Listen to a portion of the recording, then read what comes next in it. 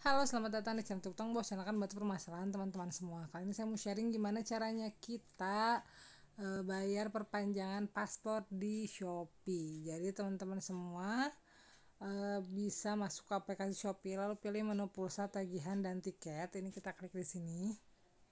Scroll ke bawah lalu pilih yang penerimaan negara.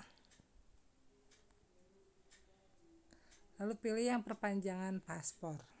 Di sini ya kita klik aja. Di sini teman-teman tinggal masukkan kode billingnya. Lalu untuk pembayaran ini hanya bisa e, menggunakan Shopee Pay ya. Jadi teman-teman harus top, e, top up dulu Shopee Pay nya maksimal untuk pembayaran ini maksimal nominalnya 10 juta. Kalau misalnya lebih dari 10 juta berarti harus upgrade ke Shopee Pay Plus.